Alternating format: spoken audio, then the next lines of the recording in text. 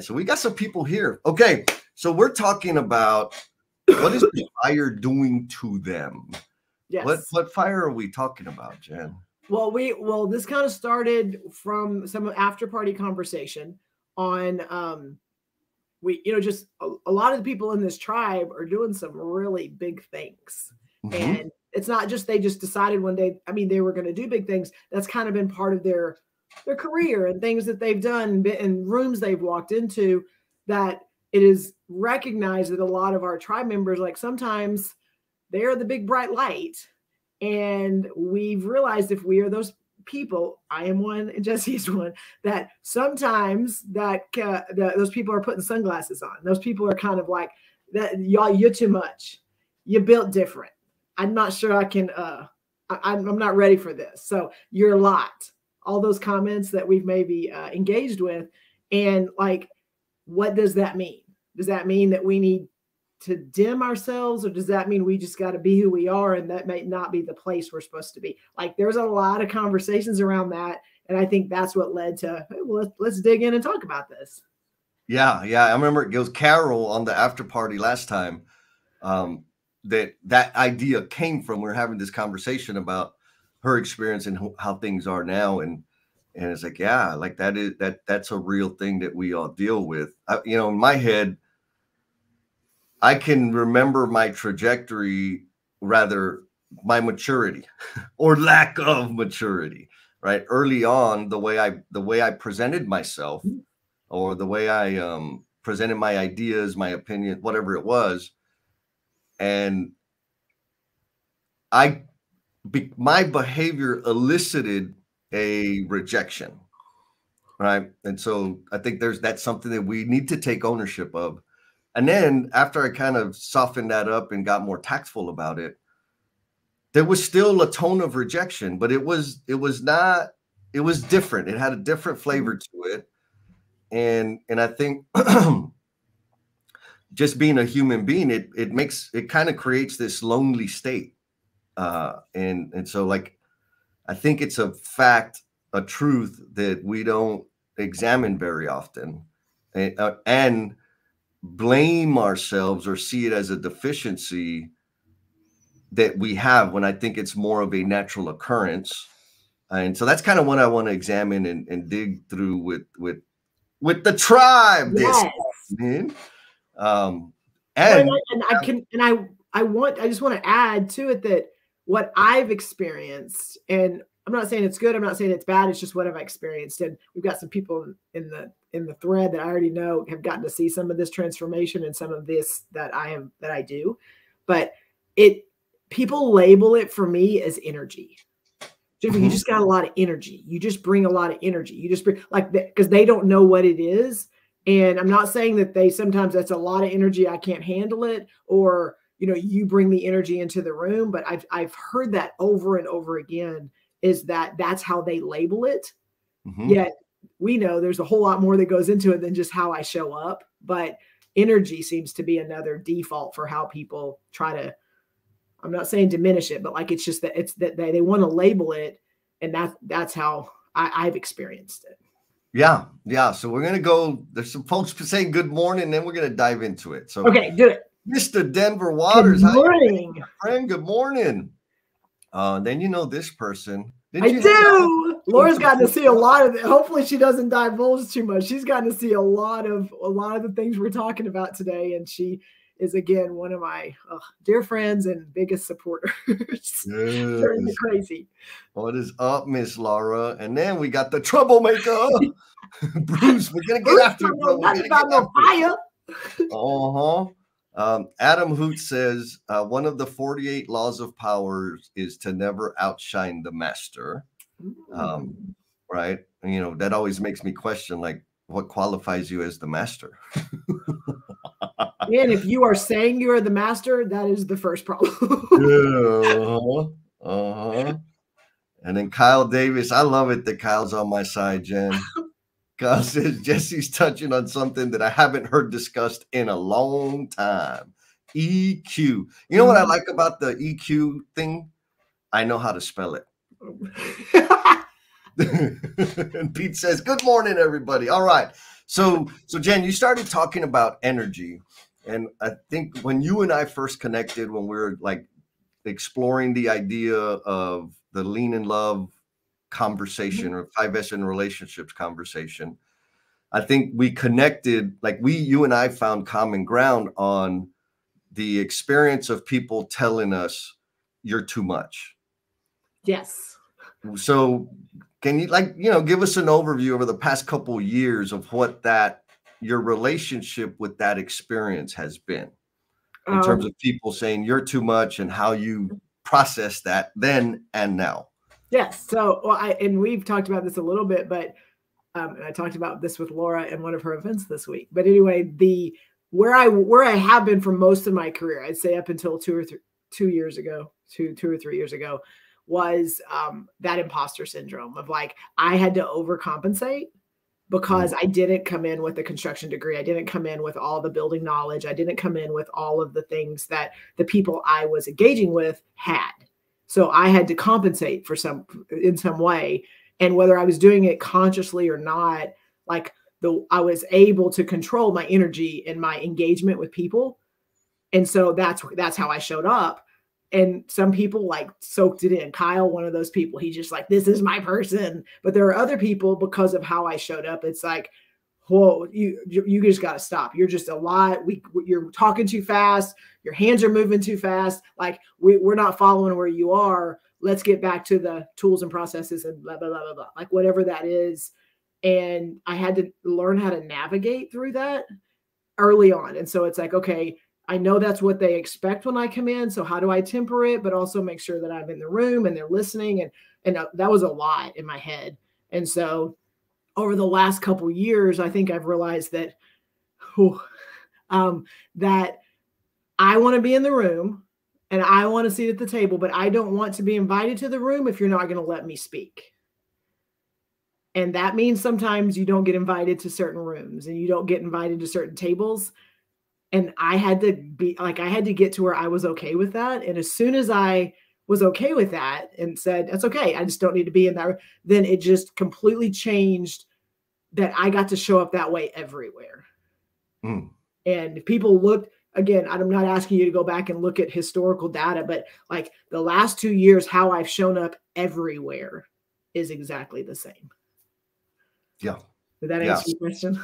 Yeah, it, it does. You know, I think it's important because it, I think a, a lot rather, I'll just say the tribe members probably have all experienced that, right? Of showing up, bringing themselves as much as themselves as they're comfortable to bring, and somebody getting a comment, right? A side comment like, whoa, whoa, whoa, you need to tone it down, or hey, wait a minute, it's not like I haven't had my coffee yet. Like these, yes. these like seemingly innocent comments, but they they chip away at your confidence, right? They chip away like, oh, they make you for me, anyways, they've made me like, oh, is something wrong with me?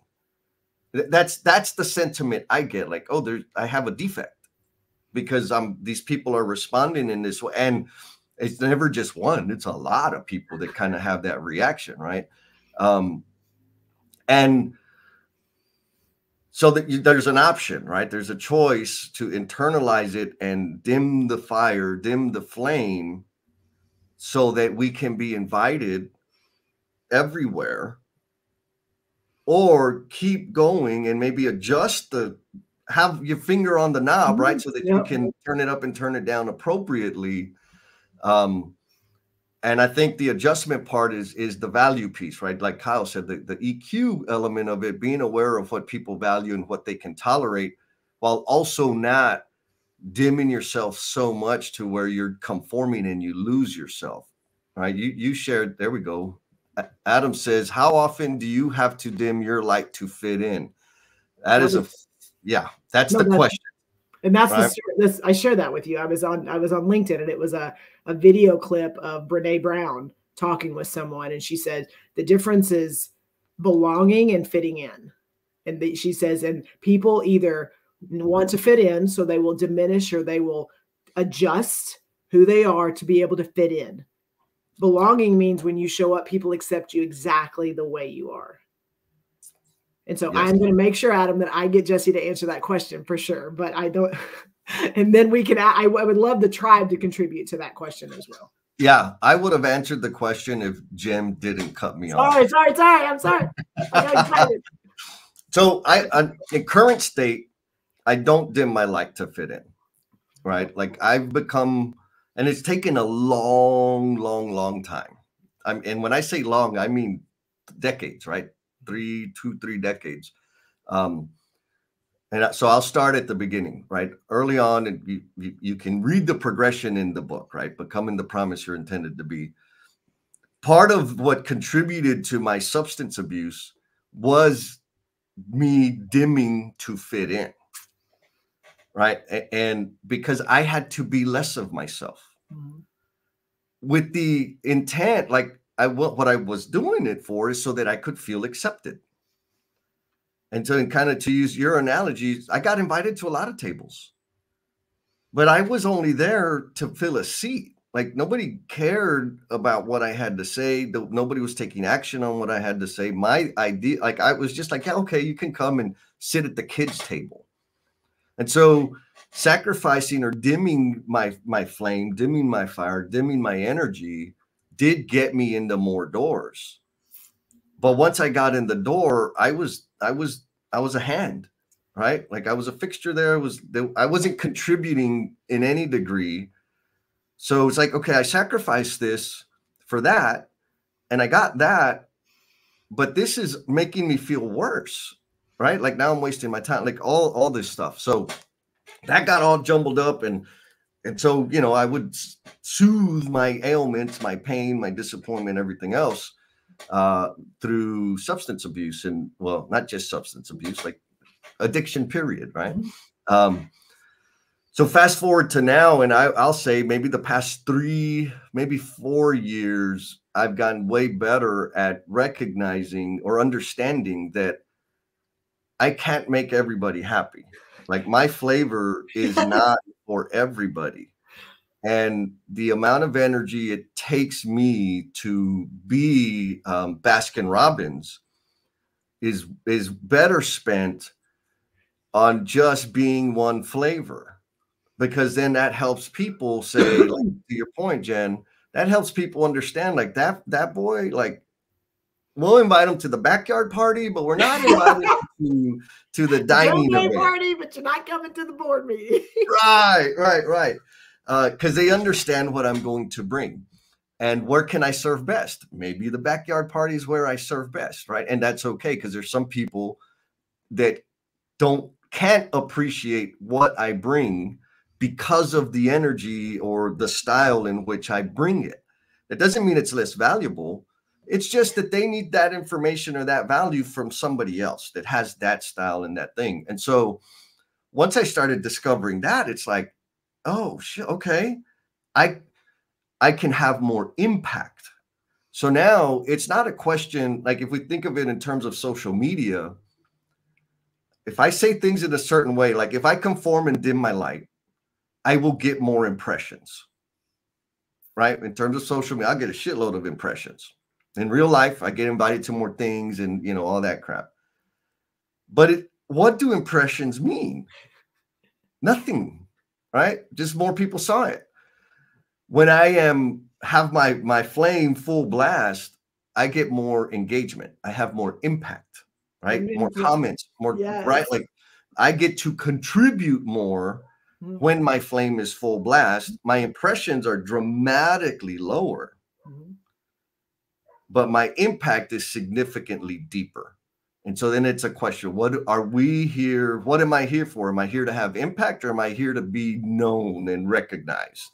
Uh, and so getting comfortable with that and like really understanding the difference of it is what's helped me come to terms with you're going to get all of me all the time, right? Like historically, my friends, it was awesome. I'd go out, you know, family things and whatever with groups of friends, and they would always say, like, Jesse, like you know they, they'll they'll kind of give me the the dossier of who we're gonna be like they're not really crazy like you and then when we'd all get together they'd be like oh that's the jesse like yeah that that's me so there was always that that thing that they would warn other people or put a mm-hmm. disclaimer um, which is okay. Right Mm-hmm. now, again, that eroded my some confidence and made me question myself a little bit.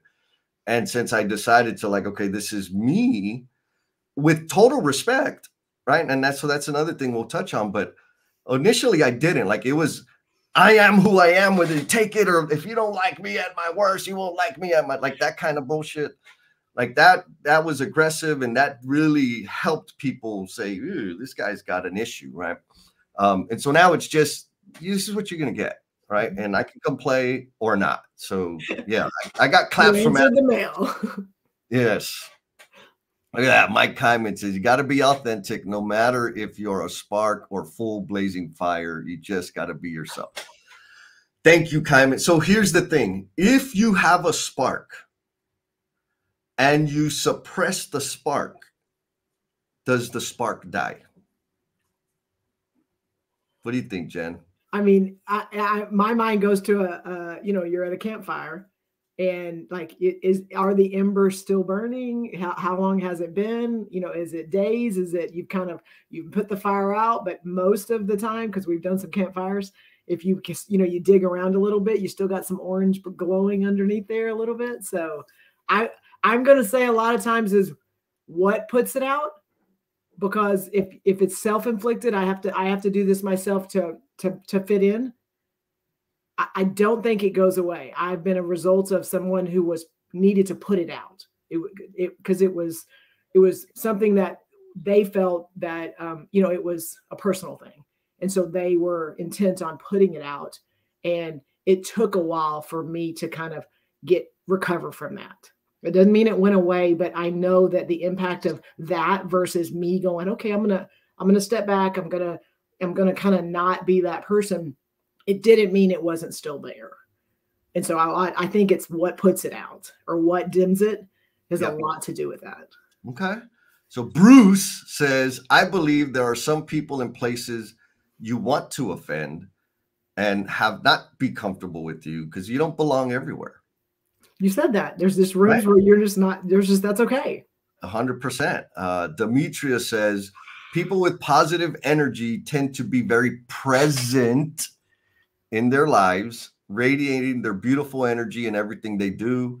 Uh, you intuitively feel safe, happy, relaxed around them. Their vibe is welcoming. You love being around them because knowingly or not, you feed off of those good vibes. So, do you ever, you know, you and I, Jen, have talked about like if you keep feeding the cats, the cats keep coming back. yes. What are you talking about? what, what does that mean, Jennifer Lacey?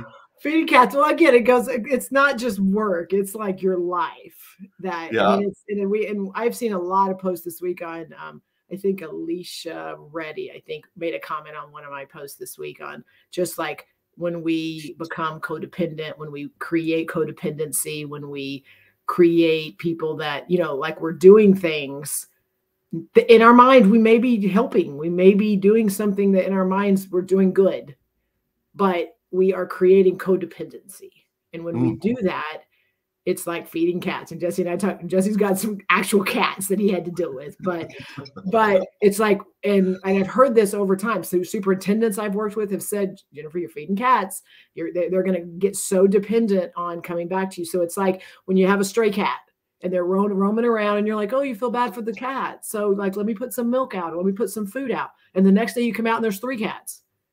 And then you're like, oh, I got to put more. And then you, it just keeps going. They're never going to go away. Jesse, do you have some stories on cats? And they ain't my cats. They're my freaking neighbor's cats, but they keep feeding the stupid things and they never go away. but it's like that we do that we do that and sometimes it is not because i need to feel important it's because we feel we're doing good but then Yeah. like we're creating the way another analogy is if you are the pizza delivery guy and you continue to just deliver the pizzas they're going to keep calling for the pizzas you know or do you are you teaching them how to make the pizza Right. Right. So I want to ask, pose this question to the audience. To the tribe members, have you been dimming your flame? Um, and so, folks, leave your comments. We're going to read them. We're going to integrate them into this conversation. Um, you know, one thing, kind of, I want to go back to like the the dimming, like if you put it out, right? Mhm. Um, I feel like the more we suppress the flame, the harder it is to get it back, right? To get yeah. it back to to whatever that energy is. Now, that leads to the second question of why do we suppress the flame, right? Why do we, to use Kyle's language, right? There's a difference in tempering your flame to the audience versus quenching it. So, why do we quench it? Why do we try to put it out? And what is the impact on you when you're doing that? I think it's a response, right? Like people are saying, "Whoa, you're too much," or "Hey, you need to tone it down," or you know, "Hey, I, oh, my favorite is like, hey, we want you to speak." Okay, but I just need to warn, like you, you, you know, I, I love your energy, uh. and so it's not necessary. Here's what I'm going to say. I'm going to ruffle some feathers. It's not because my flame is too hot. It's because the light and the heat from my flame reminds them that they've been sitting stagnant. They get uncomfortable with that feeling. Why? Why, Jen? I well, I think, and and we've had this was part of the after party conversation is that when you're around someone and there you see all this brightness, um, and you see the things that they're doing. One, exactly what you just said. It reminds them. It, it's it's a constant reminder of let's say inadequacies, but just their inaction. Mm-hmm. I mean, like it, like you, and and I and I say that like it's a lot. Like you can conform and you can get promoted. I'm just gonna say you can conform and you can have a goal and you can get promoted based on the way career plans are and career paths and stuff like that. And there are people that do that, and then there are us. and that doesn't mean that we don't get promoted and then we don't get recognized and all those things but it's like when people are in that mode they're checking boxes. They're not looking at what is out there that doesn't exist. What is out there that i can impact and i can lead and it's going to change the way people show up. Like that is not how they show up and when they're engaged in a room and sometimes there's rooms like we talked about that that is not the the the vibe for most of the people in the room and you know that you feel it really quickly. But there are people that have done that in check boxes and they're in the room and they're doing everything they're supposed to do to be able to get to that next step and then we show up. And then we start engaging and we start doing stuff and then that gets traction and that gets momentum. What do they do yeah in their mind they're, they're doing everything they're supposed to do to be able to get to the next step and um, again, I have very personal relationships with people that are in the chat right now that have got to see and watch and experiences. And it's not a bad, I'm not saying it's a bad thing. There are people that that is where they are. And then there are other people that that is not how they show up. And there's sometimes, you know, there's some conflict there. There's some, there's some, I don't, that that's too much or that's not what we're looking for. But then there's also more. And I'm going to tell you, I've experienced it. There's more people that are drawn to it and they want to know more about it and what is it and how do i how do i feel and experience what that person's feeling?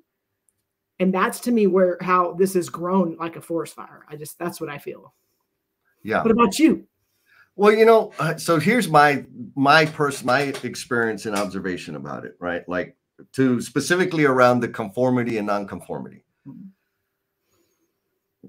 i know that when i conformed and dimmed my light, I advanced and got promotions faster. Period. And so when I stopped conforming, those promotions and all of that stuff slowed down, but my impact and my influence grew dramatically. So then it became a question what do I want? Do I want the title or do I want to have influence? Do I want to serve people or do I want to have the status, right? Status, yes. I like that. And and so I decided that I'm going to hack to sacrifice my climbing of the ladder to have the influence and impact that I want to have. Yes. And I think now my life's different, right? I'm single and all the stuff and I, I, I get I mean I used to get this all the time like man you're next up for the national thing and da da da da and why don't you want that and it's like because I can't like I would have to sacrifice parts of me that bring me fulfillment. Right. And the energy it's going to take for me to conform is going to rob me of joy. and I'm okay with that. Right. So when so many conversations with people that care about me, right? And they want to see me grow, they want to see me advance. I'm like, I feel you, I understand what you're saying, but I will be distracted from my purpose chasing that job, chasing mm-hmm. that title, meeting the KPIs and the metrics and all that stuff. Not to say that those things don't have value, they have tremendous value. But I will not be able to serve in the way that I am intended to serve if I chase that next little carrot. Uh, and so, and you know, I want to be clear like, we're not talking about conformity or non-conformity in the term, in the perspective of defiance. Right. Talking about non-conformity from the perspective of, I don't need to climb the ladder.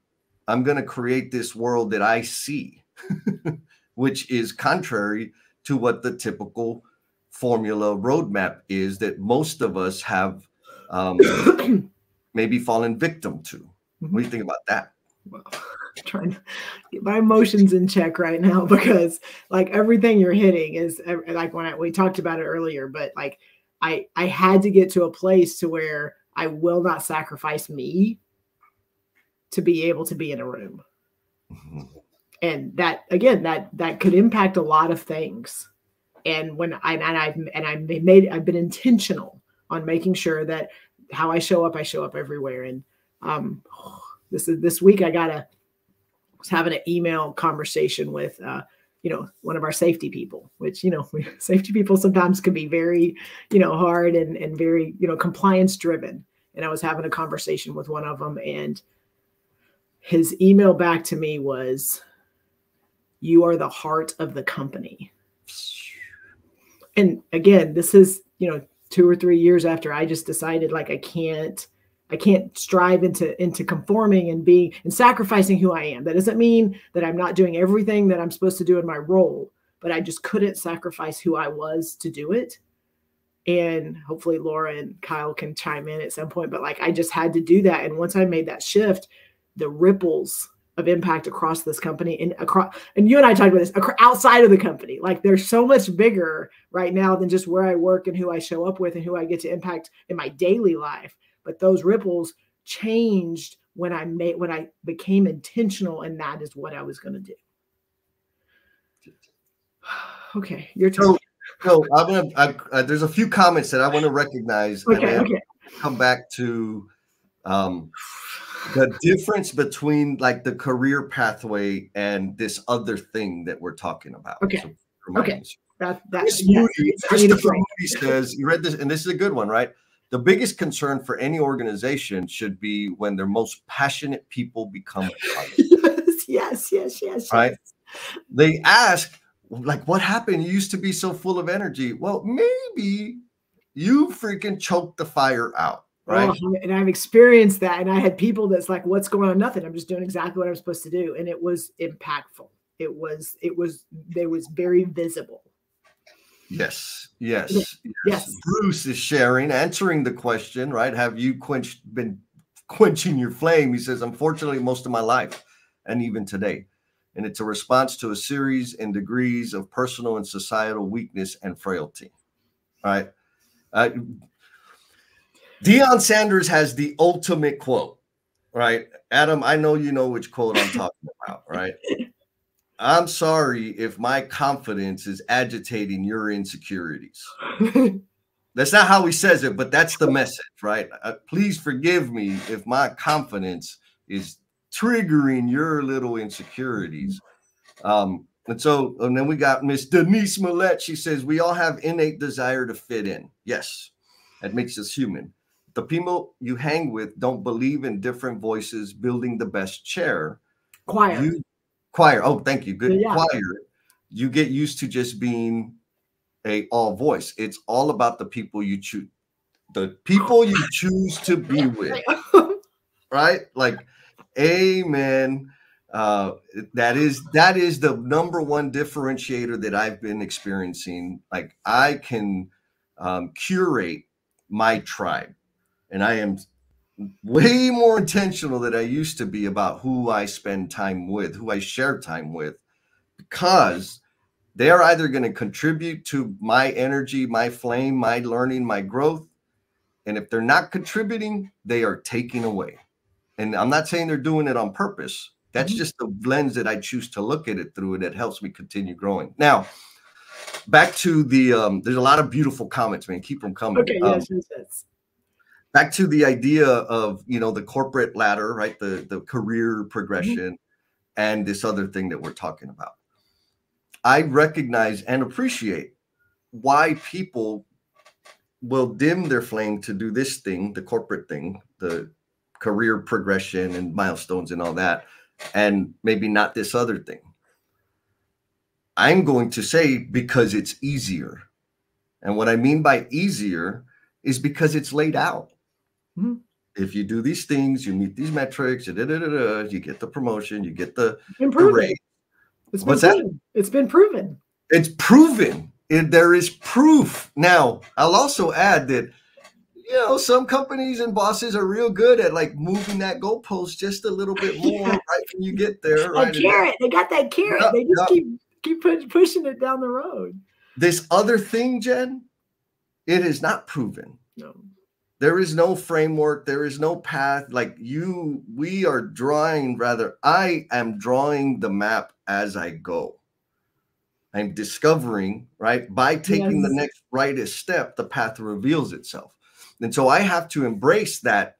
Well, I'll just call it um, insecure situation because nothing's secure. I got to figure it out. And so I think that also contributes to conformity because, well, like somebody else has done that.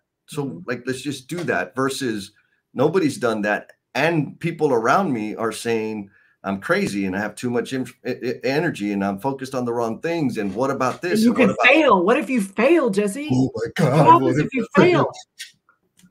Yes, yes. So, what do you think about all of that, Jed? Well, I mean, again, it's stuff we talk about all the time. And I just, I think it's, we're not saying if you conform and you have a path and you have a plan, then you're wrong. I, and I, I want to be clear, like there are, like you said, there are people, and that is what's comfortable for them, and that is that's that's their goal, and that's what they've laid out in front of them.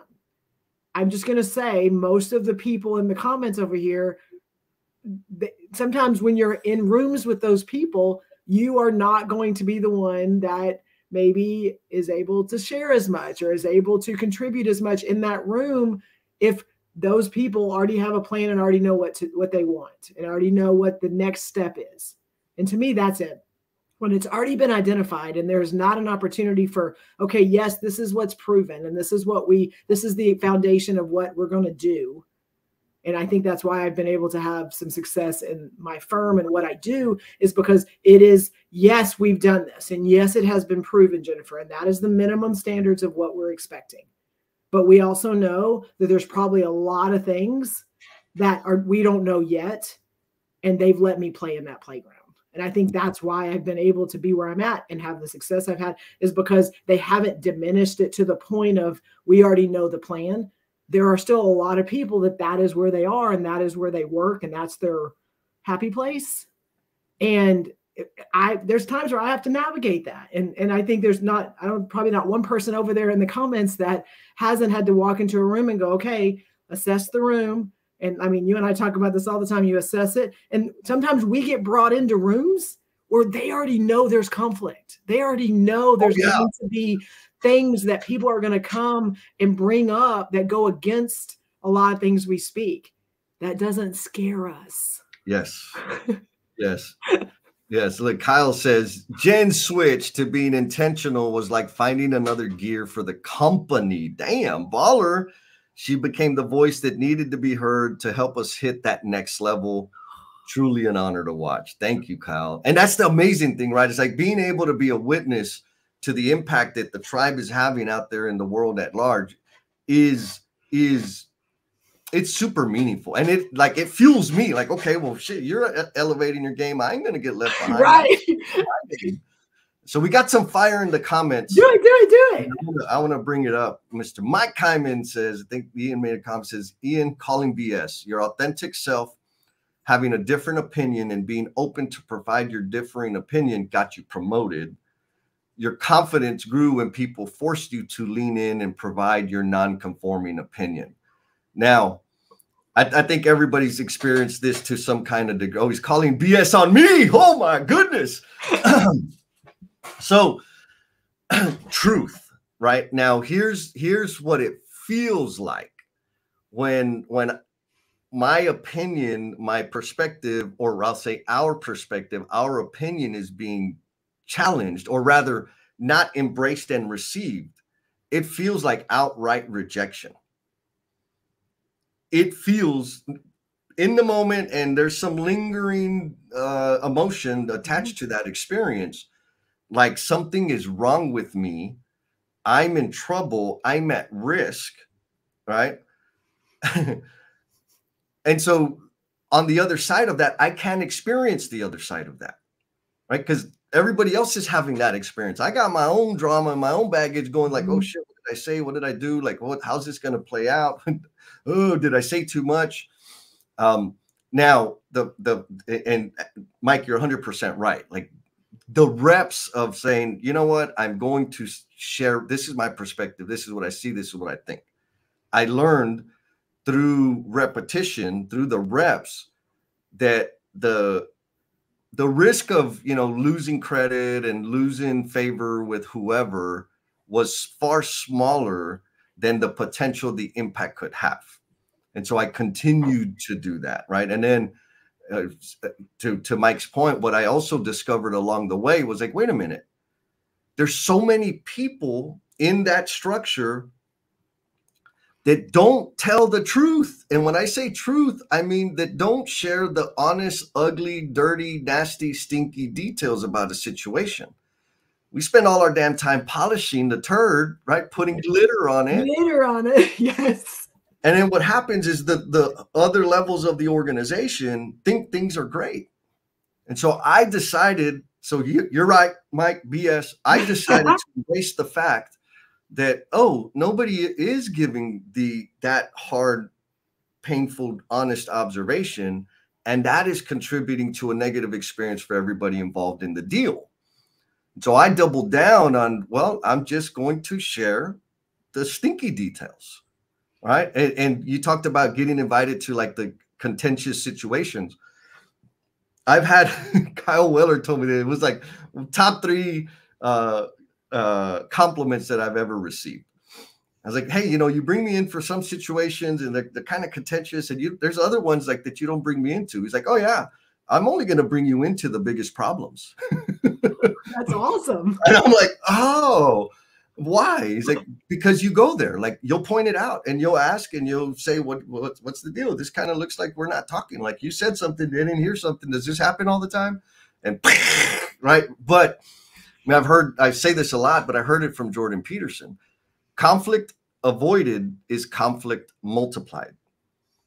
Right. And so I'm sharing this with with the tribe so that when you see something that is is not contributing to the goal that the whole team is working towards.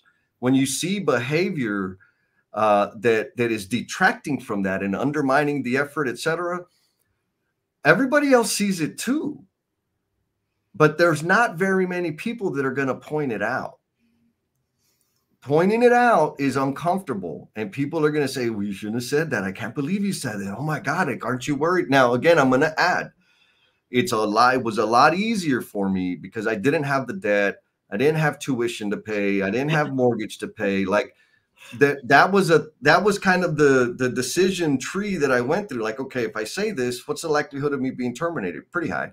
Okay. And what happens if I get terminated? Well, I know how to plumb, right? I can that I could do my fishnet calendar shoot finally. Um, I had less at risk in terms of debt and dependence.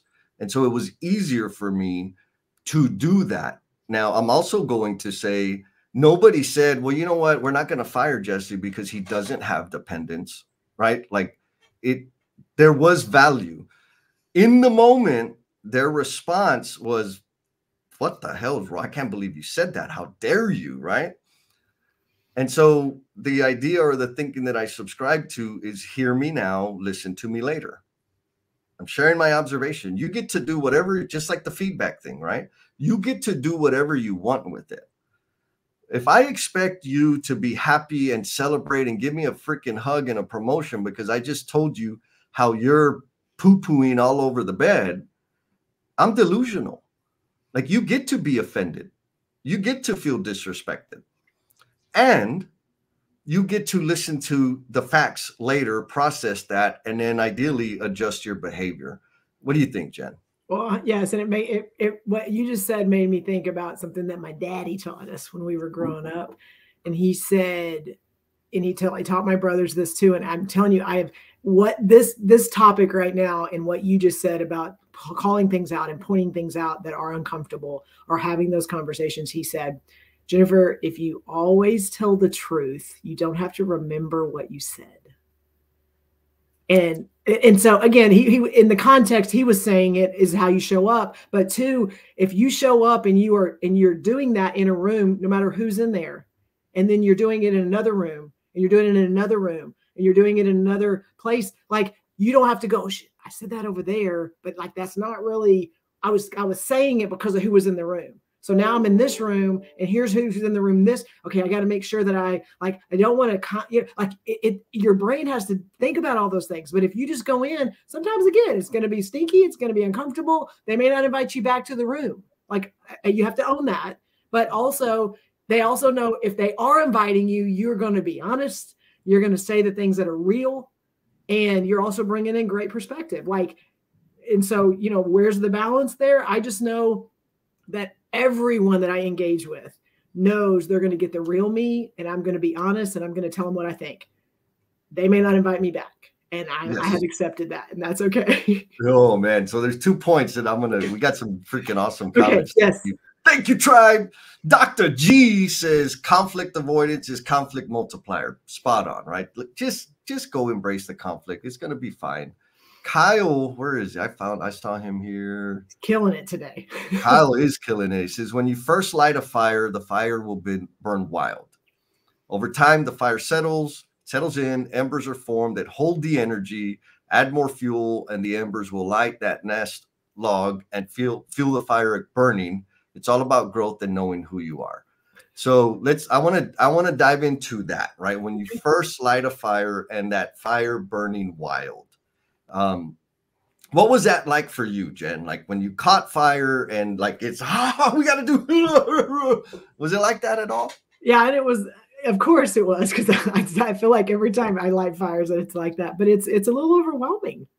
It's that you're attracting certain things that you're like, "Ooh, this feels good," and you got people that are like, "Yeah, that," but also you are there are places that you have like if you have if you and again we've seen it in the news and hawaii and all that. When the when the fire's going wild like you can't contain that. You can't just go turn off turn on turn off turn on. Like you don't have the control as you're trying to figure temper that and figure it out. Like where am i going? What does it look like?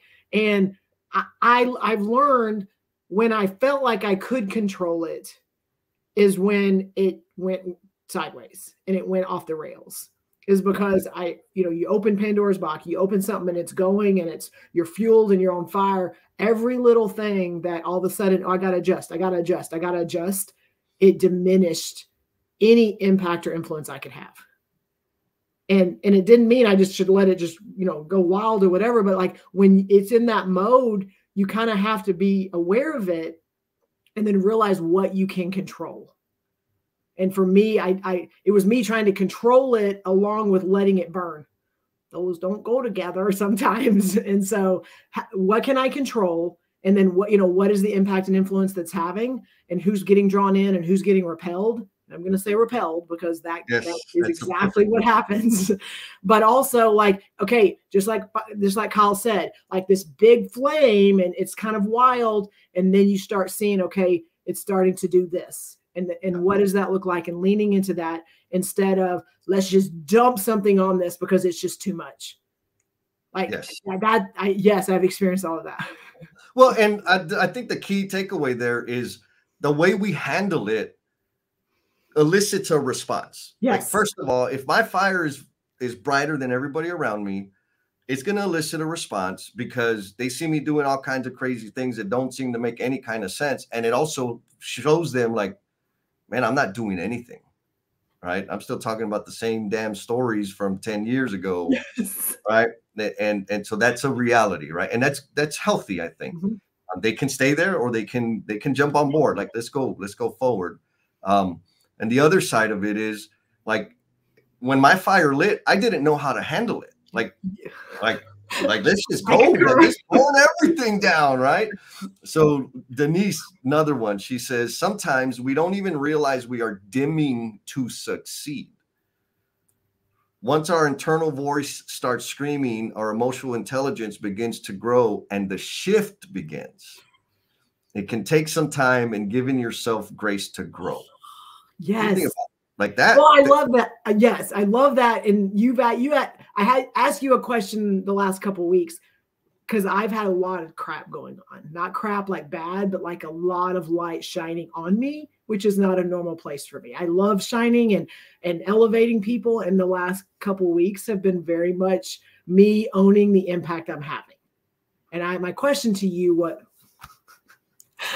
so much love today. Um, but my question to you was can you own your impact and be out there owning it and still not realize the the the brightness that you are creating and that like that's been not it's it's this it's not even grappling it's it's that can you be out there doing like owning it but not even knowing i'm telling you i'm getting comments today and i'm just like these people like where did are these people living the same life i'm living but it's but like uh, understanding how bright your light is like Yeah. we don't lean into that Yeah. Yeah. And I it was a simple answer. My answer was like, hell yes. Right. And so maybe to to add some context for the tribe, you know, taking owning your impact, right? Recognizing and owning, saying, this is the way I serve, this is the way I influence people. That's uncomfortable. There's a lot of internal work that I had to mm-hmm. do to get to the point where I was like, yes, this is how I mm-hmm. best serve. This is the impact I have. This is the value I deliver. Mm-hmm. I do it consistently, and this is how I do it. It felt really braggy for me to do that. Uh, and and over time, I've been I'm getting more and more comfortable with it. yes And so the question is like, okay, is it possible to take ownership for all my awesomeness while also being unaware of some peripheral awesomeness that I think I'm seeing? Yeah. But am I delusional? Like, is that am I, am I really taking my ownership of my impact? Da da da da da. yes And so my my answer was like absolutely yes, right? Because there are second, third order consequences, and when I say consequence in the normal state, um, to the way we serve and contribute to people's lives. And so I am fully aware of the way I impact people when I because of my vulnerability, right? Mhm. I can say that today. Two years ago, people were telling me, like, man, your vulnerability is amazing. I'm like, what the hell are you talking about? Vul- I'm not vulnerable.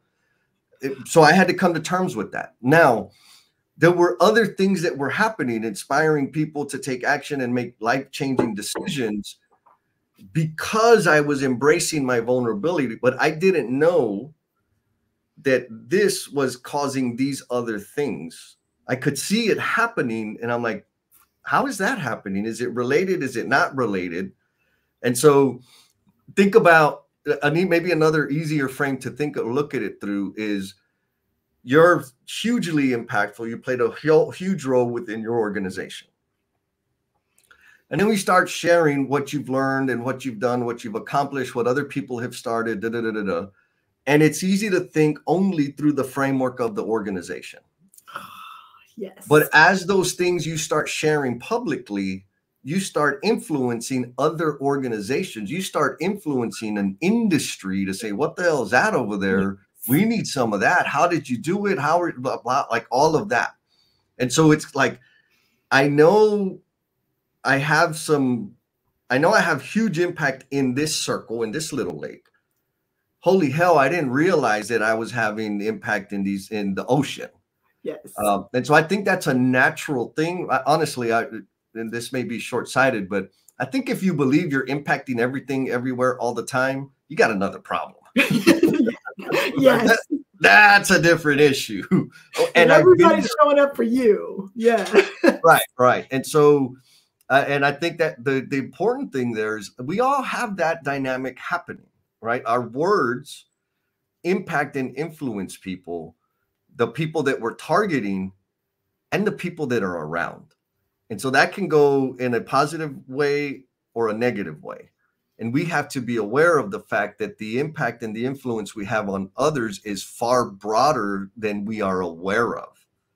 And so if we just, what I've done is I assume that I'm going to be impacting people that I've never met, seen, or heard from.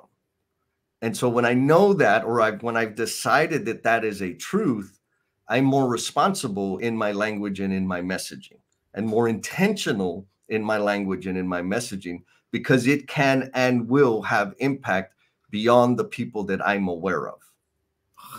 Yes, Jesse. So, yes, yes, yes, yes. And the intentional part is if I'm coming into a room and I'm going to make him understand and see it or her understand and see it, then I'm losing sight of what the goal is. But if yes. I show up and I'm creating an environment where everyone in the room is starting to understand and see this. And Maria Maria had Maria Martin said um, in a previous um, after party, she says there are times where when that light is bright and that and that that person is shining, she goes, for me, sometimes it's like warmth. And I, I'm drawn to it because it, it makes me feel like safe and comfortable that's not what we're talking like we've not talked about that perspective on the people that we do draw in mm-hmm. and those people that do like and again there's a lot of them over there in the in the in the in the chat but those people that this is something that makes me feel better that makes me feel like validated and there's something going on that i'm doing that there are other people that feel this way and I think that's another perspective is that when we go in with the intent of I am going to share all of my wonderfulness to you, Jesse, and I'm going to make sure you understand. And when you leave here, you're going to think different. I think there are people that walk into rooms like that and they may make their point or they may not. But if that is not your goal, if your goal is to create the right environment and impact one person, and if one person can leave and make a different choice or make a different decision based on something they heard or they said, or that you know something that was ha- happened in that room that's that ripple. That's the ripples of impact that we don't know maybe what will happen from that but that that has been a lot of our approach. And because of that it has drawn more people in. Yes. Yes yes yes. And so hashtag peripheral awesomeness uh denise liked that one. Uh so i'm gonna i'm gonna go to some vulnerability yes. here. Adam says i feel like my health has dimmed my light over the last year. And he's excited to reignite that light. Hashtag reignite that light. And I'm going to contradict that statement. We all have health. It is our response to the state of our health that is tweaking and adjusting the light. Right? I mean, we, we've probably seen memes or YouTube videos of people that um, have less agency due to disformities, etc., and their attitude is inspiring. Uh, so I, I will say it is indeed how we respond to that. Like we all, everybody has a bad problem, and their problem is the worst damn problem that they have. Period. Mm-hmm. In my world, that's the worst thing. Compared to other people, it may it's pretty damn awesome so how do i respond to it is the difference mm-hmm. right mm-hmm. and, and so back to this control idea you already know how i feel about control i do get to choose how i respond to things mm-hmm. and so back to the main point my light my fire i get to choose what temperature that's going to be all the time i am always choosing it's not because of X, Y, or Z. If somebody says, "Man, Jess, you talk a bunch of shit and everything's perfect for you. You got everything so easy. That's why you're the way you are." I get to say, "Oh, I appreciate your perspective," and keep burning. right? I don't have to turn it down because mm-hmm. I've offended because my confidence offends somebody's insecurities. Mm-hmm. I can keep rolling. Um, that being said, we do have life situations that make it easy for us to step back and hide and sink and shrink. Mm-hmm. I know the only answer for me to get beyond that is to tap into my people, right? And voice it. So applauds to Adam for voicing that. Yeah. Uh, but you got a choice, baby. You got a choice, right? Because here's the other beautiful, magical thing back to like the peripheral awesomeness. In our worst situation, when I'm handling it in such a way, looking at it like, okay, I'm in a dark time right now. What can I learn? And how can I share my learnings with others? I'm giving hope and inspiration to other people that are in the exact situation that don't have people around them to lift them up and see their peripheral awesomeness.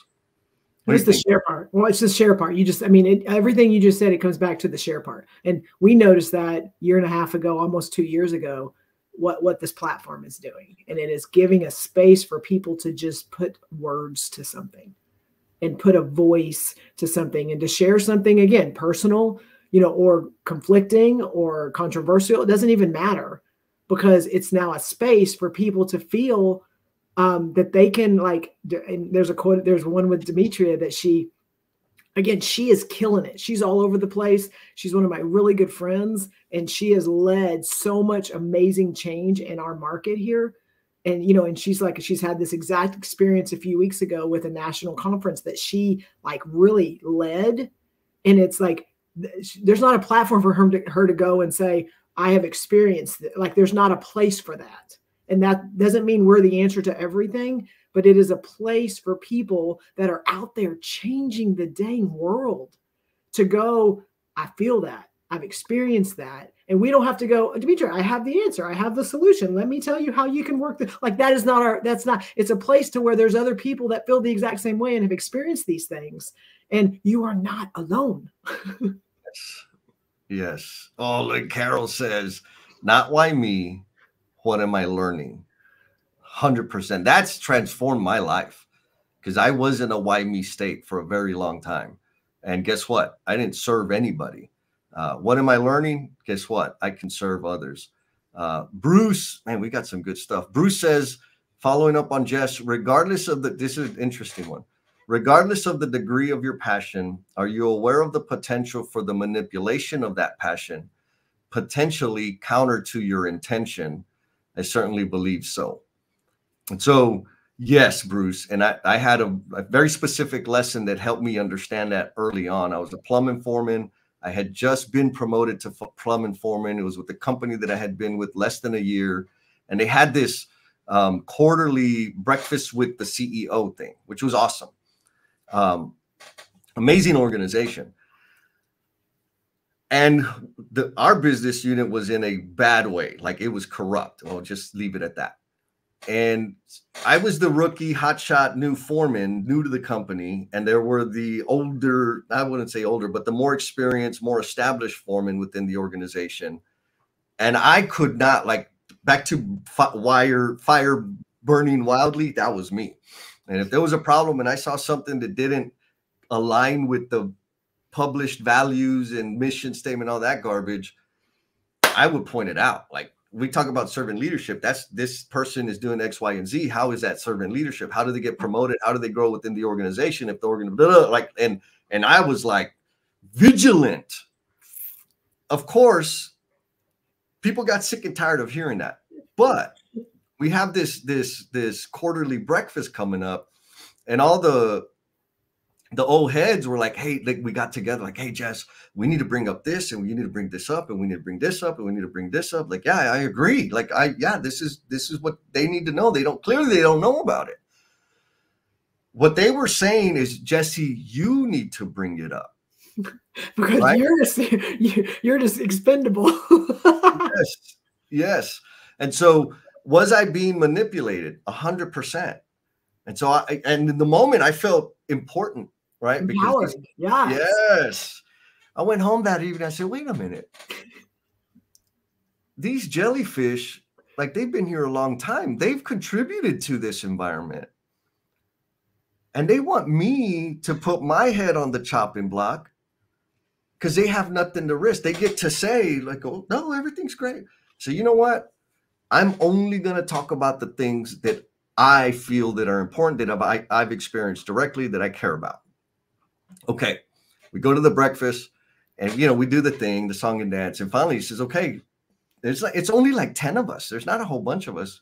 Ceo says what's bothering you? What do we need to work on?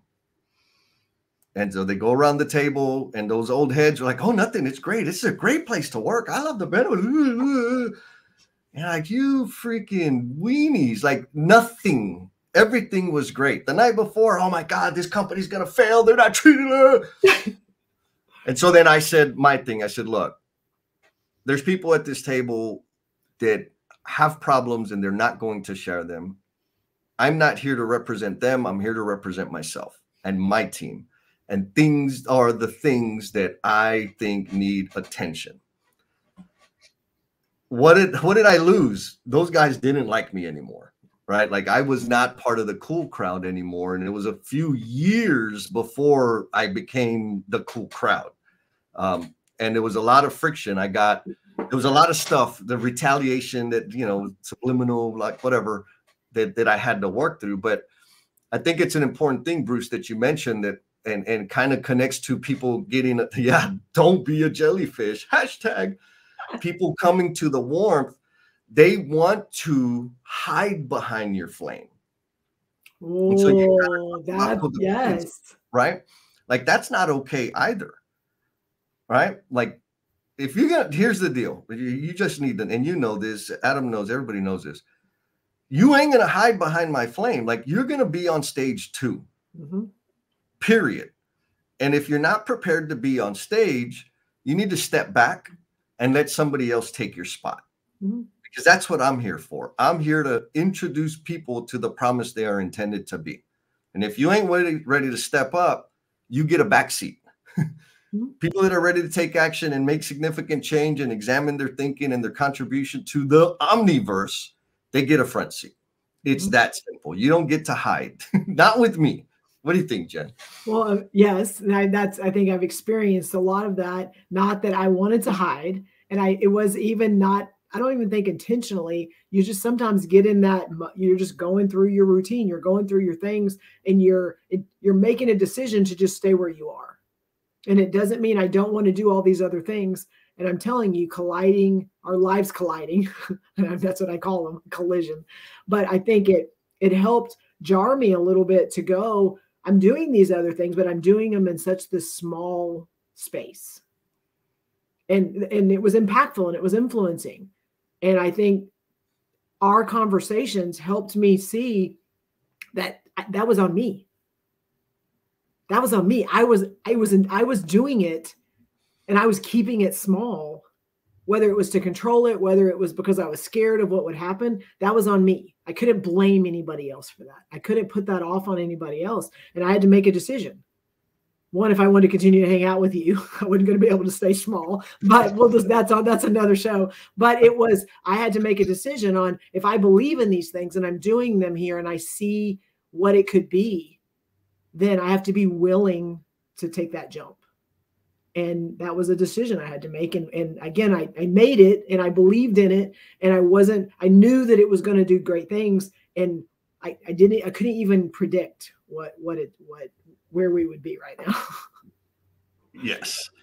Love it. So, question for people to like chew on between now and the next is what spice do you yes so right? that yes I, and so you talked about spice early and that's my that's so i want people to think about this because i i feel like jesse you're like the you're like the jalapeno and i'm not trying to be you know trying to just because but you're like the jalapeno there are people that love jalapenos and that want them loaded up on their nachos. They want them on every freaking thing they eat. And that spicy, whatever that is, that's like my face is about to explode. And then there's people that are like, I'm not a spice person. I'm mm-hmm. not a spicy. I don't like the I don't like the heat and all that. It reminded me of your story at the beginning on there's people that like my flavor and there's people that are probably not going to be and like there's nothing wrong with that. And so it made that's what that question made me really think about and I want people to think about like what is what spice do you bring? Is it the sweet? Is it the salty? Is it the sour? Is it the is it the mixture of, you know, what are those things because every one of you if you think about it, you know like I'm the salty, and I feel like Sarah's a little salty. Like she likes to kind of, you know, bring it up, get a little, get some things mixed up in there. But like everyone has that spice, and it could be sugar. Like again, it could be anything. But what Bruce turmeric? What is that spice you bring? And like I love this conversation because like there's some that are you can do both. You can do the sweet, like whatever that is, but that is like that can help you a little bit go this is this is kind of the stuff i bring and that's why that person may not be liking it so much so yes and it's okay that they don't and I'll, I'll add we all have a spice we all have a flavor are we all aware of it right that's the purpose of the question you know the other thing i love about the tribe is you know folks if you're out there watching it and you're not paying it like if you're watching the replay and you haven't paid attention to the chat you should because we have there's two that I want to share right now, right before we close. Yes, yes, That that you like that thinking is fabulous. It it'll help you. So we had a lot of experience coming in. Alan, my buddy Alan says, Alan, Alan, Alan. Yes. Alan says your vibe attracts your tribe. He's learning that when people show you that you're not needed and it's for reasons outside of your control, that's okay. Uh, what helps him discern when to double down and when to stay in my lane is answering the question Am I running away from my discomfort or am I running towards a clear goal? That's a perfect reflection question. Yes. Not all obstacles are potholes in the road. Speed bumps tend to be installed for a reason. Gangsta. And, you know, on the same thread of thinking, the chief marketeer says, Never think dimming your flame is best. Learning to control and shape your flame is better. Death of a friend's loved one, be a candle. Hanging with friends over the weekend, be a campfire. Playing with the grandkids, be a raging forest fire. We, oh, is that yes, like, yes, yes, it just speaking to my heart. yes. Um, so we got three minutes left. Oh, damn. Jen, I'm going to need you to carry the torch for a little bit so I can post the damn uh, after party link and all this and all the stuff. Okay. It is on our No BS page, just so you know. And in the, um, I think we've shared that, but he's going to put it on this thread just so you find it. But if you're on the call right now and you want to jump into the after party after we finish, you're going to struggle finding it here. So either click on it when Jesse shares it, or you can go to the No BS with Jen and Jess page on LinkedIn, and it is actually an event that is shared there that you can just click and join. So I don't think we've shared that before, and I think people sometimes struggle finding the link. So the after party is uh, if you have not done it before, all it is is a click and you join. And Jesse and I get to carry the load a lot when we're talking on this uh, on the live stream. The after party is us kind of taking a back seat and listening and giving you the the stage to be able to share any comments, thoughts, anything that you've thought about during the live stream that maybe you didn't get to voice or you get you want to speak and be able to kind of share that with a group of people on here's my takeaways. Most of the time i'm not going to say 100% of the time but most of the time the next show stems from the conversations in the after party. So because of things that have that spurred and sparks and stuff those conversations jesse and i have a kind of a debrief and we literally de- figure out what we're going to talk about in two weeks. So please jump on if you haven't. Even if you want to come in and just listen, you don't have to get on the stage, but we want to make sure that um, everyone has the opportunity to do that. So, yes, I'm trying to post it in the Facebook, but it's not letting me. Oh well, figure it out. Okay, we're um, almost at final thoughts. So how about I do my final thoughts? I love Adam. Thank you. Keep them coming. People love the contribution. Sarah, it was not a bad call out. It was a, I love you and your saltiness, but you're also sweet sometimes too. So just so you know, your saltiness is what definitely makes me love you. Thank you. So yes. Awesome. Steel is only sharpened by steel, Miss Carol. And, and so like full disclosure, Carol. I don't know if you were here at the very beginning, but we are blaming you. You are guilty and responsible for this conversation. Yes. Thank you for for bringing your fire like you always do. Jafar says, "Thank you so much. Appreciate it." Um, yeah, I think this was uh, hopefully it was a coherent conversation. I don't know. we, we sometimes think it and then we go back and go, what were we talking about? Yep, yep. Folks, I love the advice that y'all brought. There you go. Dr. G saying such a great dialogue this morning. Um, in my head, it's this like you have a flame, figure out what that spice is. Know that if people are repulsed by it, that's more them than you. Mm-hmm. Um, and you can throttle it back, but don't lose it. We need it, right? You're an expert at being you, and you're the only you. So be as much of you as you can be, and let's just continue forward. Yes. Good. Yes, and just again own what you have. Don't diminish who you are. Make sure that, uh, and again, like don't blame others if you're making a decision because you're trying to conform like stop and reflect and think about why are you choosing that and that going back to what steve said like just think about why you're making that decision yes and you got to listen to jen because she's a really big deal all right five minutes. We will be on the after party. See y'all later. Peace.